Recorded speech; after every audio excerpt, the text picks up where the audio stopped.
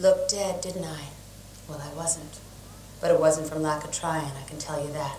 Actually, Bill's last bullet put me in a coma.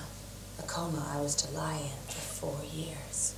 When I woke up, I went on what the movie advertisements refer to as a roaring rampage of revenge.